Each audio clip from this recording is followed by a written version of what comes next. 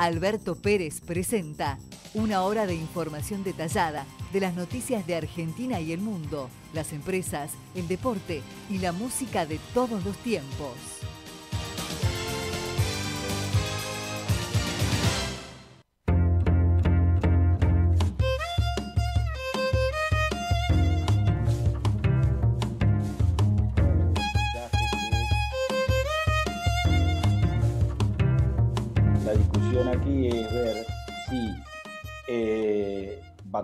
Más cantidad de gente eh, y con un porcentaje menor de eficacia o vacunamos menos gente con mayor cantidad de eficacia.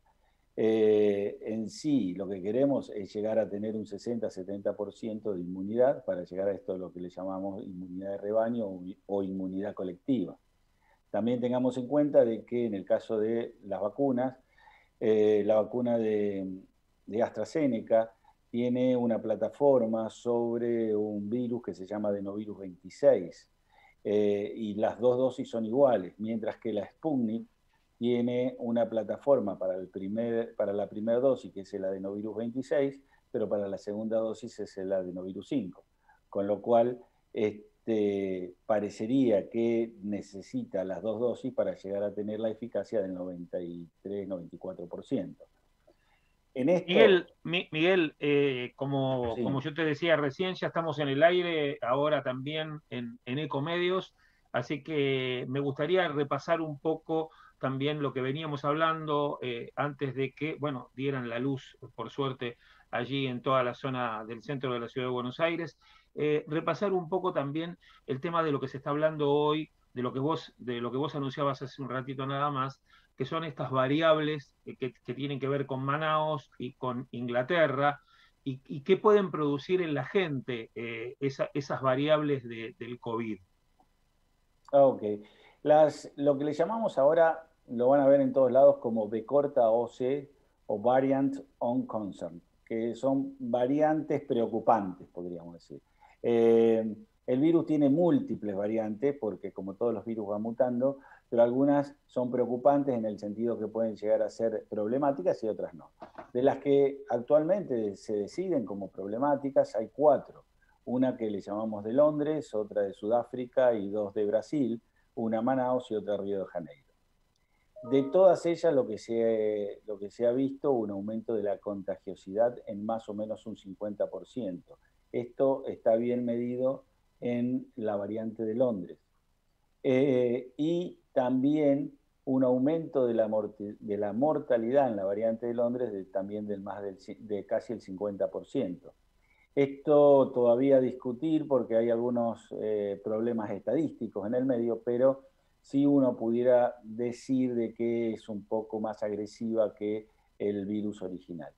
En cuanto a Manaus y Río de Janeiro, sabemos que es más contagiosa y se cree que podría ser más agresiva, aunque todavía no hay estudios que puedan demostrar esto. Esto hace de que en nuestra segunda ola deberíamos tratar de evitar que la menor cantidad de variantes relevantes estén en nuestro, en nuestro país para atemperar y para que sea más fácil el manejo de la segunda ola en Argentina.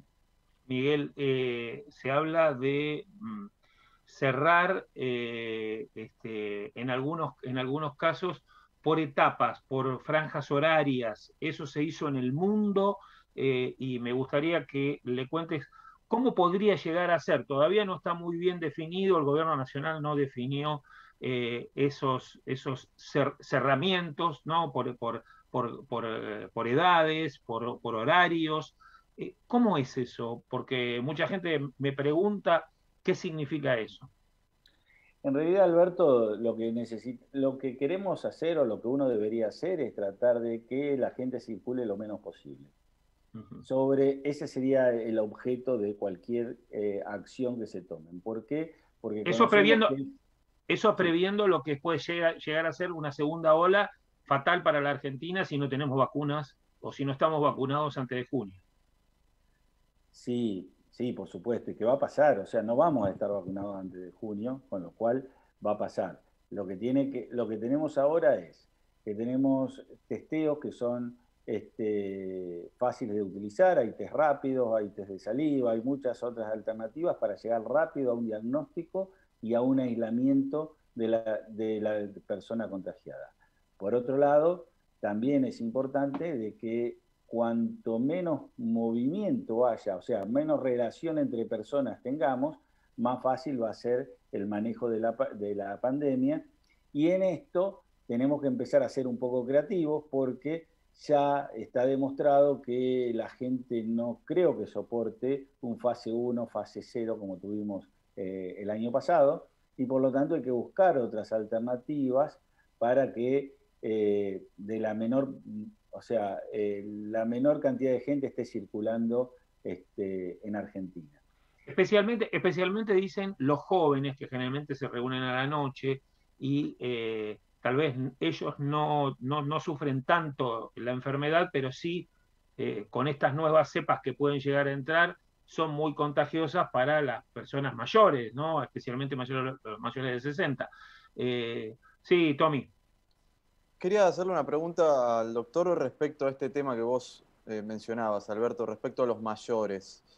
sabemos que un porcentaje de los mayores por ahora viene siendo bastante bajo, el porcentaje de, gente mayor a los 60 años vacunada en el país y se debe principalmente a que las vacunas que está utilizando Argentina, la Sinopharm, que es la vacuna china, ¿no? Usted, doctor, me podrá corregir cualquier cosa, y la vacuna de AstraZeneca todavía no se pueden aplicar en mayores de 60. Eh, la única que hasta ahora se puede aplicar es la Sputnik. ¿Sabe por qué no se pueden aplicar en mayores de 60, doctor? Eh, si hay alguna eh, está previsto que se pueda aplicar más adelante estas dos vacunas, porque si no la Argentina va a depender únicamente de la vacuna rusa para poder vacunar a los mayores y, va a ser muy difícil que, los mayores estén protegidos. Tomás, eh, no, la única vacuna que no se puede aplicar eh, o que no se aplica en mayores de 60 años es la de Sinopharm. La Covishield, que sería la de AstraZeneca fabricada o manufacturada en India, sí se puede colocar, fue con la primera que empezamos a, a vacunar a las personas de más de 80 y 90 años. El tema es que tampoco tenemos una cantidad importante, esa viene por a través de COVAX. Entonces se volvió a vacunar de nuevo con Sputnik 5 a, este, a los adultos mayores. Tengamos en cuenta en sí que creo que acá el tema es la pocas vacunas que están ingresando, más allá de las que se le había al gobierno ofrecido o que se habían comprometido con el gobierno, y por otro lado es la lentitud que se está teniendo en vacunar este, con las vacunas que ya existen.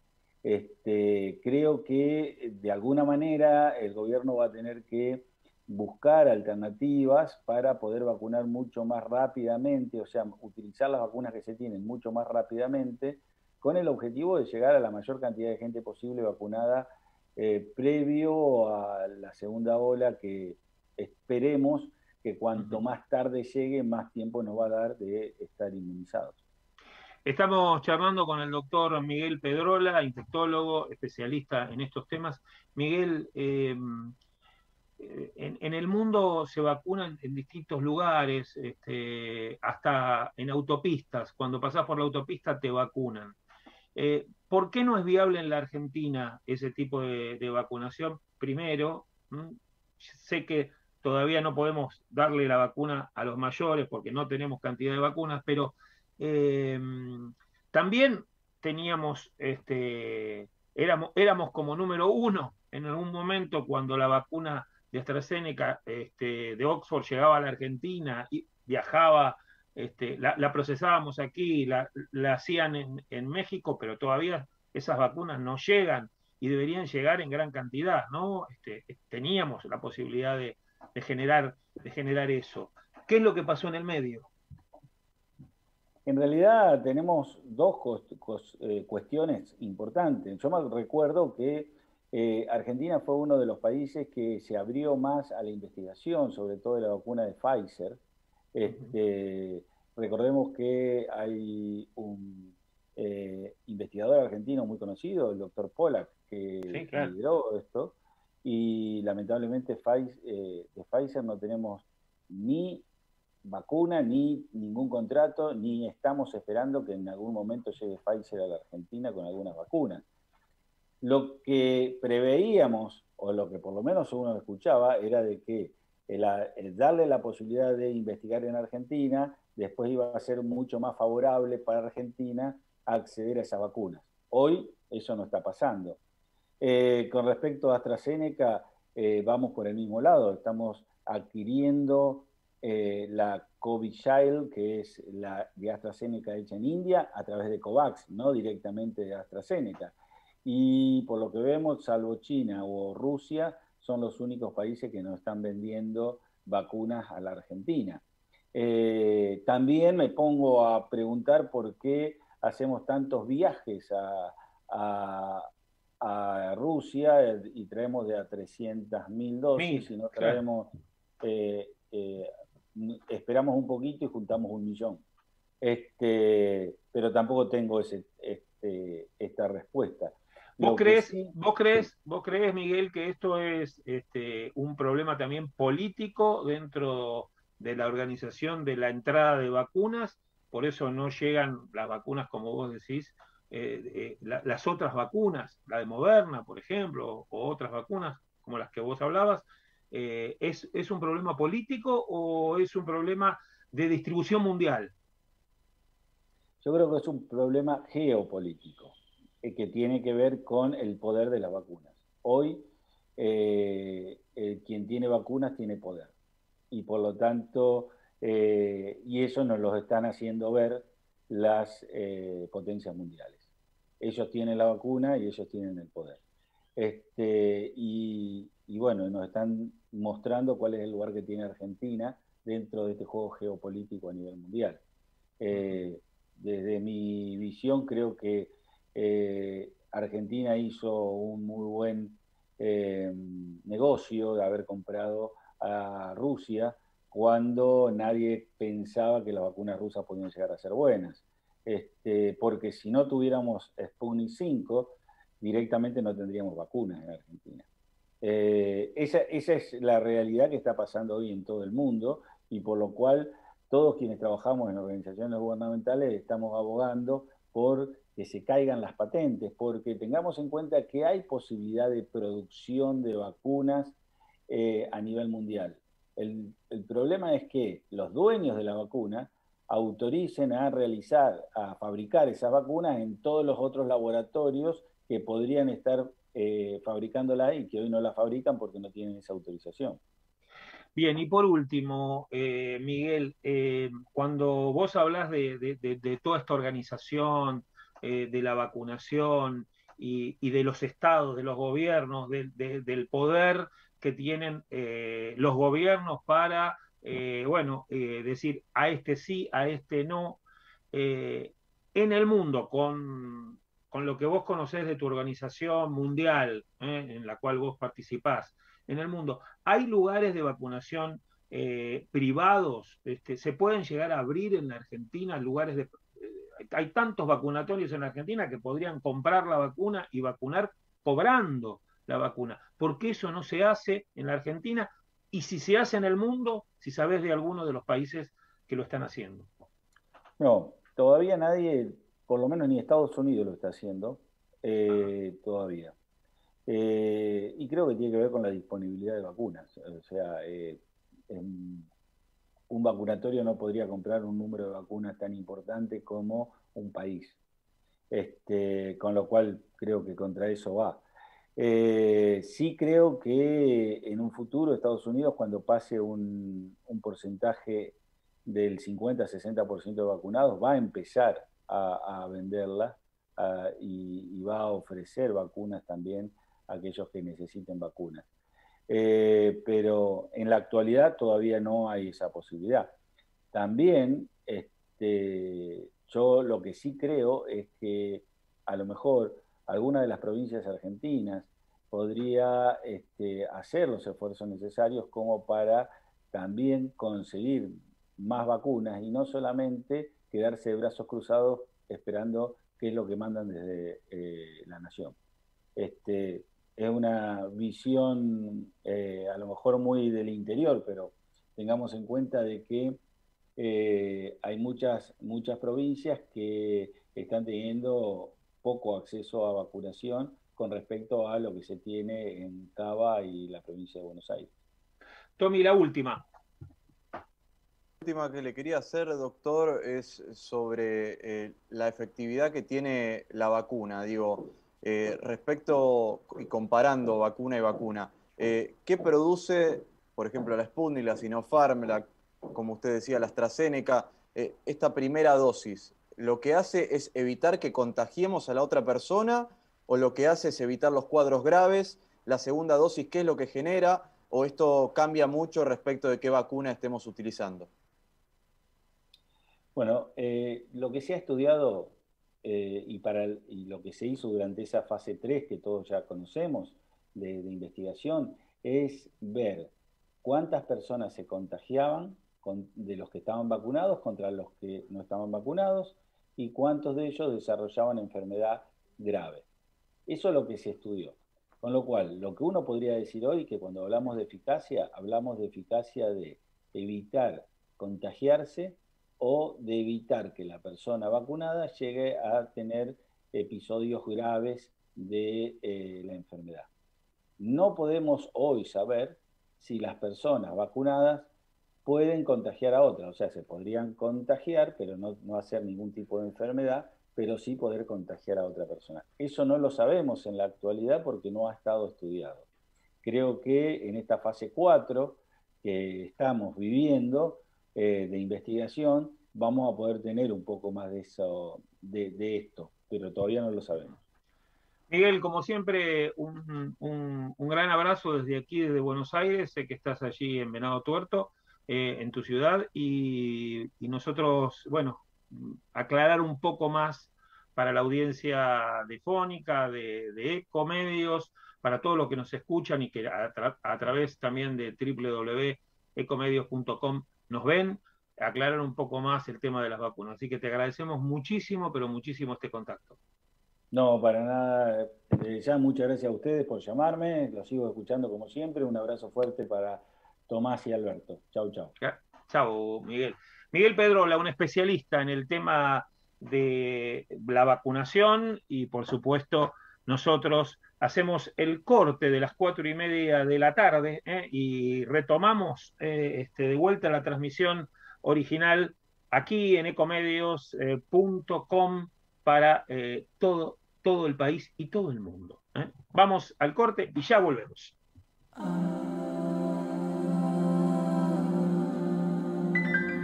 Acompañan a Alberto Pérez las siguientes empresas e instituciones.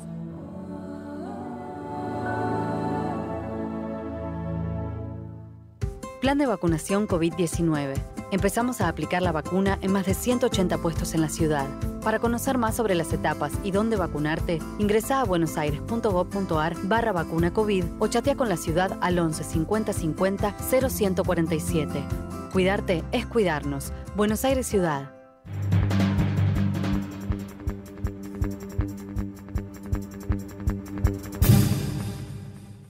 Ecomedios.com AM1220. Estamos con vos. Estamos en vos. Comedios y los números de la suerte con los resultados de las quinielas recién sorteadas. A la cabeza en la ciudad, 4.637. En la provincia, 5.297. En Córdoba, 8.268. En Santa Fe, 2.854. Y en Entre Ríos, 3.155. Apoyado por Bombonería Bombonela, La Casa del Chocolate, Corrientes 1479. Carnicería Mama Marta, Juan Bautista Alberdi 6701. Cristales ante asalto Mezquita Hermanos, Alcina 2501. Fueron los números de la suerte por Ecomedios AM 1220. Volvemos 18.30 minutos. La Posada Morada dos Ventos te espera en Pipa, la mejor playa del nordeste de Brasil, única por su bahía con delfines. 12 exclusivos departamentos y tres piscinas circulares en medio de un jardín tropical.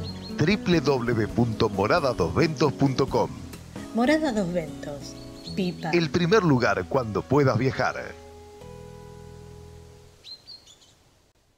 Podés vernos en vivo en ecomedios.com. Ecomedios.com. Contenidos audiovisuales. Conectate con nosotros. Twitter arroba ecomedios 1220. Alberto Pérez presenta Radio Negocios.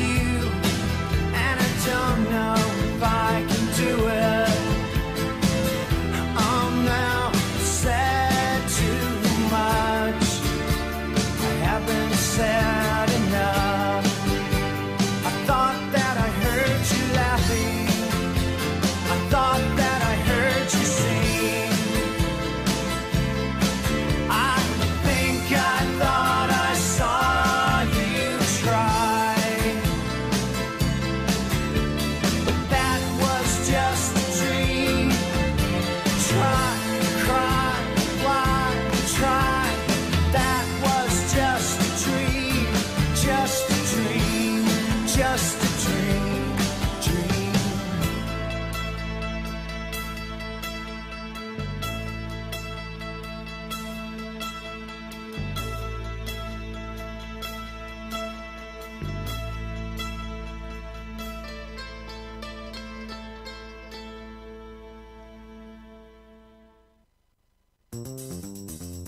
Alberto Pérez presenta Radionegocios.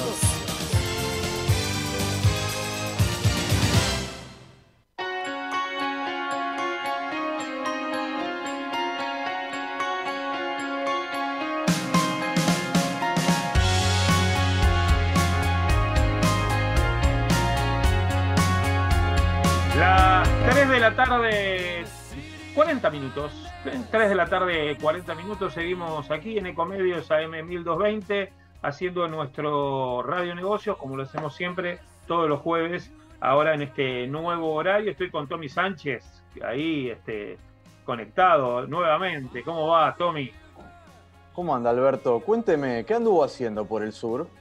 Bueno, no, estuvimos, le, cuento, estuvimos, ayer llegamos de, Puerto Madryn, eh, estuvimos un, largo tiempo, eh, porque eh, usted sabe que todos los años se hace el Festival de Cine Internacional Medioambiental de la Patagonia, que es el Patagonia Ecofilm Fest, que lo venimos promocionando y mucho aquí en la radio hace muchísimos años. Desde hace cinco años que estamos con, con el festival. Y eh, estamos a punto eh, de ser ONG y entonces fuimos allí a Puerto Madryn a bueno, planificar todo lo que va a ser la organización sin fines de lucro y que va a poder dar la posibilidad de llevar el cine medioambiental a un montón de lugares donde ese cine no llega. El cine medioambiental es un cine muy, pero muy bueno en calidad mundial, ¿eh? porque hay mucha gente haciendo cine ambiental en todo el mundo que presenta películas, pero que no llega a todos los rincones del país. No son, no es un circuito comercial. Y realmente hoy para concientizar y para poder tener este, metido adentro las necesidades que el planeta está teniendo después de esta pandemia que nos encerró a todos y que nos tiene a todos locos, ¿eh? este, poder llegar con cine ambiental a lugares y gratuitos, ¿no? Y a lugares, escuelas, especialmente eh, a lugares educativos, eh, a través de la fundación va a ser una, una, gran alegría para nosotros, para nuestra organización y para, para Radio Negocio, también para ECO, para Fónica, bueno, para todos los que estamos haciendo eh, esta, esta movida. Entonces fuimos allí a tratar de construir la sede, empezamos muy tímidamente, con material reciclable, eh, con material reciclado. Estuvimos armando un, conseguimos un contenedor de los que se usan para trasladar este, mercaderías y allí eh, comenzamos a armar lo que va a ser la sede del Patagonia Ecofilm Fest en un lugar muy interesante que es el eh, Parque Ecológico El Doradillo a unos 10 kilómetros de Puerto Madryn. Así que desde el Parque Ecológico este, con materiales reciclables estuvimos trabajando eh, todo este tiempo desde allí y, hemos transmitido desde allí estos últimos programas de, Radio Negocios. Bueno, ¿qué tenía usted para darme a esta hora de la tarde? Bueno, te cuento una noticia deportiva mientras esperamos eh, una entrevista que teníamos pactada. Contar que ayer Boca ganó, bueno, esto lo deben saber todos, fue etapa de los diarios, venció 3 a 0 a Defensores de Belgrano por la Copa Argentina. Pasó los 16 avos de final, está en octavos de final y espera, espera por el partido, por el cruce entre Atlético Tucumán y River Plate. Esto quiere decir que en el caso de que River se imponga en este cruce, tendríamos superclásico en la Copa Argentina. Y ya está definido cuándo va a ser el partido entre River y los tucumanos, eh, ya se definió, será el próximo miércoles 7 de abril, y el horario y la sede son a confirmar todavía, pero el próximo miércoles 7 de abril se van a estar cruzando. Y como te decía, si River pasa de ronda, vamos a tener en octavos de final superclásico en la Copa Argentina. Algo que mm. nunca se dio, nunca se dio en la historia de la Copa Argentina hasta ahora, así que sería una novedad y obviamente para los hinchas de Boca y River igualmente cualquier partido, cualquier superclásico siempre es una final, siempre es un cruce más que interesante y para el neutral ni que te digo, ¿no? Porque ni nos ponemos nerviosos, estamos tranquilos, podemos disfrutar del partido. Para los hinchas de Boca y de River, bueno, lo sufren un poquito más. Lamentablemente sin público por ahora, ¿no? Sí, respecto a esto, eh, la, la Conmebol está presionando eh, por la vuelta del público, los clubes también, porque sabemos que eh, tal vez no tanto los clubes más grandes que tienen todo el merchandising, que tienen los socios y demás, pero los clubes más chicos claramente necesitan el ingreso del público. Eh, y sabemos que la Argentina con la pandemia se encuentra en una situación económica muy complicada. Los clubes son asociaciones civiles, queramos o no. Los socios son los que sostienen a los clubes, no hay ningún gran inversor, por lo menos a los clubes chicos, obviamente, en el que, pueda poner gran cantidad de dinero para sostener a los clubes. Así que la vuelta de eh, los hinchas a las canchas sabemos que el contexto epidemiológico no es el mejor, pero de a poco se va a tener que estar, se va a tener que ir dando, sobre todo de cara a la Copa América, que Argentina va a ser uno de los anfitriones junto a Colombia y se apunta a que en junio, cuando la Copa América arranque, por lo menos allí pueda haber cierto porcentaje de público. Obviamente las canchas no van a estar explotadas, pero algunos hablan de un 30% de aforo, como se da en algunos recitales, como se da en los bares, en los restaurantes, como para que el público bien separadito eh, pueda estar presente. Veremos si los barra bravas, que son los más revoltosos de todos, puedan cumplir con estas eh, disposiciones y en, realidad lo ideal sería que ni los dejen entrar a las canchas, a los barras, que son los violentos de siempre, pero bueno, veremos cómo se da esto. Me avisa Javi que lo tenemos en línea al entrevistado, Alberto. Ah, bueno, a ver, eh, lo tenemos allí a, Daniel Estico. ¿Está Daniel o todavía no? Me parece que no, ¿eh? me parece que le falta, falta unos... Estoy acá, estoy ¿Estás ahí? Sí, claro. Hola Dani, ¿cómo va? ¿Qué tal, Alberto? Un gusto escucharte. Gracias por llamarme. Bueno, bueno, no, gracias por estar en, aquí en Ecomedios. Bueno, ¿y qué pasa con la economía? ¿Arrancamos o no arrancamos? ¿O, la pandemia nos tapa todo? más que la pandemia, la política, ¿no? Es decir, eh, los datos de actividad que se dieron a conocer esta semana sobre el cierre del, del 2020 mostró que la actividad económica está, sigue negativa comparado con el año anterior, pero que fue eh, desacelerando paulatinamente la brutal caída que hubo en el segundo trimestre, cuando ustedes recordarán, cayó 19% el PBI. Ahora, después bajó a 10% en el tercer trimestre y ahora el cuarto cerró con menos 4, 4,3 promedio 9,9. Ahora, la política es la que está metiéndole demasiado ruido a la economía y que no la quiere dejar no solamente recuperarse, sino que incluso amenaza con, con, revertir esta recuperación y volver a caer eh, por, por múltiples factores, ¿no? El, desacierto en el manejo sanitario, la, las promesas incumplidas de llegadas de vacunas que, que no aparecen, eh, la amenaza de la, segunda ola, etcétera. Y yo, ayer en la noche, esta mañana nos desayunamos con la nueva investida de, de Moyano de contra Walmart en este caso, de, impedirle trabajar porque quiere que los trabajadores, una cosa inédita, renuncien a su empleo para que la empresa lo vuelva a tomar para sacarle una tajada de indemnización, una cosa de un chino. Entonces, eh, en ese escenario no sabemos qué va a pasar con la economía.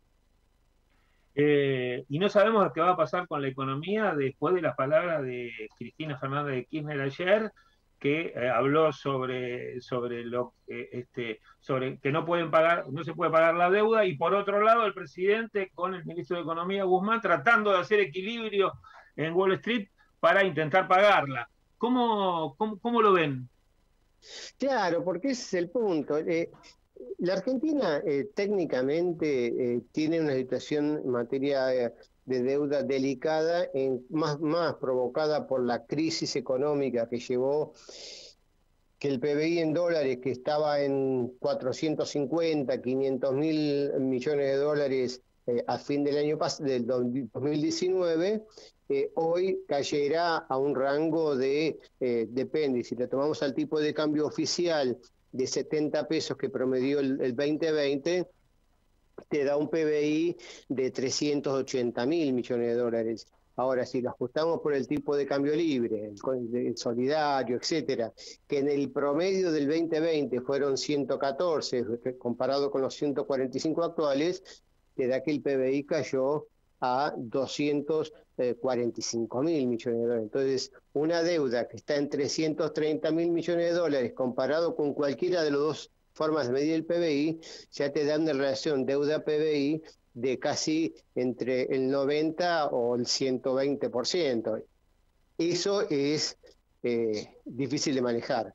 Ahora, Eh, más difícil de manejar es si la presidenta, o mejor dicho, la vicepresidenta, en ejercicio de la presidencia, porque prácticamente ella maneja todos los hilos, le, tapa la gestión al propio presidente que ella designó, etcétera, dice todo lo contrario. Públicamente, los inversores dicen, bueno, pero Argentina no es un país confiable y obliga a que el fondo hoy a la mañana tuviera que salir a responderle, decir, el fondo tiene estos créditos, no le puede hacer a la Argentina un plan especial de menos tasa y más plazo, porque para eso eh, hay líneas, pero hay condicionalidades. Si la Argentina no quiere condicionalidades, los, créditos disponibles son a tres años y tienen que empezar a pagar. Entonces, si se, entra en, ese conflicto, pago o no pago, dentro de la propia coalición eh, de gobierno al máximo nivel, eh, te hace que se paralice el resto de la economía y entonces la reactivación está amenazada, ¿no? Tommy. Daniel, te quería consultar por una noticia que sucedió hace unas horas, la caída de los bonos argentinos en Wall Street y un riesgo país que superó los 1.600 puntos. Eh, ¿A qué se debe esto? Calculo que a muchos de los problemas que estuviste mencionando hace un rato. Y también, ¿cuál es el efecto, digo, para que lo entendamos todos? Digo, por, ahí nos dicen, bueno, cayeron los bonos argentinos, qué mala noticia, pero ¿cómo repercute eso en nuestra economía? Repercute básicamente, como hoy insisto más, este, repercute, o mejor dicho, es consecuencia de lo que veníamos hablando antes, de los cortocircuitos que hay en el máximo nivel de gobierno presidencial y vicepresidencial, y que dejan al ministro de Economía pintado porque negocia una cosa, pero eh, el frente quiere otra cosa o no se ponen de acuerdo, la investida de Moyano, etcétera. Entonces, por un lado, es el efecto es, muy, es minúsculo porque la Argentina hace rato, por lo menos desde que asumió este gobierno, que decidió cerrarse a los mercados, financiarse con deuda interna, con tomarse los recursos del ANSES o de instituciones oficiales y no depender del crédito externo al punto tal que le facilitó a los bonistas la posibilidad de, comprar los dólares para que se fueran del país y eh, entre agosto y, diciembre del año pasado, digo bien. Entonces, de ese punto de vista, el impacto es, minúsculo, porque Argentina no tiene acceso al mercado internacional de deuda. Pero en perspectiva le complica la vida a las empresas, que las pocas empresas que tenían crédito ya no van a poder salir a emitir deuda, van a tener que también, como el Estado Nacional, financiarse internamente con la diferencia que no hay un mercado interno, un mercado de capitales que lo pueda asistir, más aún cuando el propio Banco Central, como instrumento de regulación monetaria, le absorbe a los bancos la mitad de los depósitos a través de las LELIC y los pases, etc. Entonces, el cuadro es complicado porque hace que la economía eh, se, se contraiga mucho más, ¿no? Daniel, como siempre, un gustazo poder charlar un rato con vos de economía y contarle a los oyentes aquí de Comedios, eh, bueno, las novedades que se van sucediendo día a día en este, en este país tan convulsionado eh, por miles de razones, eh, por un montón de razones que tienen que ver con eso, con la política, con la economía, con el virus, con la gente, con la pasividad también de la gente en algunos casos de, bueno, de esperar a ver qué es lo que pasa, ¿no? Exacto, y, Te, y, te, agradecemos mucho este momento. Un abrazo muy, pero muy grande. Igualmente para vos, Alberto, Tommy, y bueno, espero que la próxima podamos dar buenas noticias. Ojalá. Daniel Estico, economista, estuvo con nosotros compartiendo este rato aquí en Radio Negocios. Le digo al señor Javier Martínez, vendemos y los últimos minutos eh, te cuento unas cositas antes de que llegue la bisagra con, eh, con el señor este, Mario Nasinovich.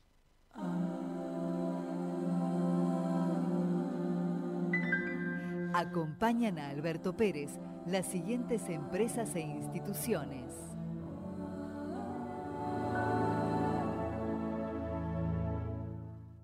Plan de vacunación COVID-19 empezamos a aplicar la vacuna en más de 180 puestos en la ciudad. Para conocer más sobre las etapas y dónde vacunarte, ingresa a buenosaires.gov.ar barra vacuna COVID o chatea con la ciudad al 11 50 50 0147. Cuidarte es cuidarnos. Buenos Aires Ciudad.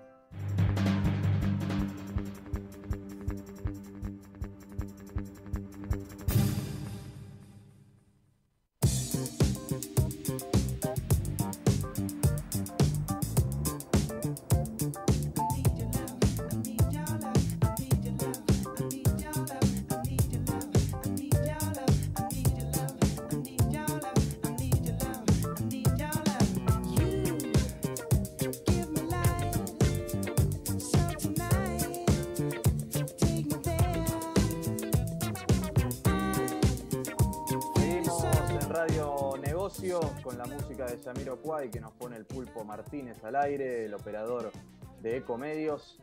Alberto, cuéntame, estuviste por el sur, me imagino que habrás ido y venido con, el auto. ¿Cómo estaba la ruta? Bueno, ayer hice, un, tramo muy largo porque salimos a las 5 de la mañana del Puerto Madryn y llegamos aquí a las 8 de la noche. Eh, ruta 3. Este, ruta 3. Tramos en la ruta 3, allí en Chubut, desastroso, porque bueno, están este, intentando arreglar la ruta y no la pueden arreglar. Cuando pasás por Río Negro, realmente la ruta está muy, pero muy bien. Después eh, llegamos, eh, bueno, agarramos la zona de La Pampa, eh, Río Colorado, y llegamos a, un, a, dos, a, dos momentos conflictivos, ¿no? Uno, que es toda la circunvalación de Bahía Blanca, que es realmente Axel Kisilov, el, gobernador, debería que tomar cartas en el asunto, la cantidad de camiones que hay, la cantidad de circulación de camiones que hay y la destrucción de la ruta en, toda en todo el área de circunvalación de lo que es este, eh, el área Bahía Blanca es realmente desastrosa, realmente una complicación, primero por la cantidad de accidentes que se pueden suceder allí, porque la ruta está totalmente destrozada. Es una cosa que es impresionante. Y, y, son eh, este, bueno, eh, rutas que se, estaba, que se habían empezado a, reconstruir y quedaron en la nada. ¿eh? Este, lo que construyó el gobierno anterior no lo termina este gobierno. Es decir, es una, realmente una, una locura. Luego, la ruta 51, la 3, hasta llegada azul, de ahí bastante bien, algunos pozos, pero cuando llegas a la zona este, eh, ya, más cercano a Buenos Aires, eh, a Cañuelas, y ese, esa complicación de pasar para poder entrar eh, este, en lo que es la autopista y, poder ingresar este, a la ciudad de Buenos Aires, también. Otro caos de camiones y de, y de problemas este, este, vehiculares muy, pero muy grandes. Realmente, dos focos dos lugares donde, donde llega mucha cantidad de camiones, Bahía Blanca y la zona de Cañuelas, Lobos, Cañuelas, bueno, toda esa zona de la Ruta 3 es imposible poder manejar y especialmente en un día como ayer que había comenzado la lluvia antes que llegara a la ciudad de Buenos Aires, ¿no? Así que realmente eh, complicaciones para eso y eh, tirada de orejas eh, al gobernador de la provincia de Buenos Aires a ver si hace algo, ¿no? Porque los camiones, los camioneros están a la orden del día, están allí llevando sus mercaderías, este, apoyados por Moyano, pero Moyano no dice nada de las rutas, ¿eh? Las rutas están muy, pero muy complicadas en ciertos lugares. Y, este, cuesta manejar. Y por último, eh, bueno, nada, agradecer a la gente de OMINT, que siempre nos envía la información, y contarles que eh, vos te podés cuidar y que nos invita la gente de OMINT, el grupo OMINT, a, eh, a entrar en el Instagram de OMINT y allí ver los videos del grupo OMINT de las clínicas Basterrica, del Sol y Santa Isabel, donde tiene mucha, pero mucha información. Bueno, nos vamos, Tommy, este, hasta la semana que viene. ¿eh? Este, le dejamos el aire al señor, al maestro Mario Nasinovich, ¿eh? este, desde aquí. Y bueno, nos vamos como siempre, ¿no? ¿Qué le parece, Tommy? Me parece muy bien. Entonces decimos que el jueves que viene, a esta hora de la tarde, a las 3 de la tarde, volvemos para hacer otro radio negocio. ¿Sabe por qué? ¿Por qué? Y bueno, esa es la pregunta ¿eh? que hay que hacer. Porque nadie puede regresar el pasado. Nosotros, ¿qué es lo que hacemos, Tomás? Vamos por el futuro. Allá vamos. Hasta la semana que viene. Pásenla lindo. Chau, chau.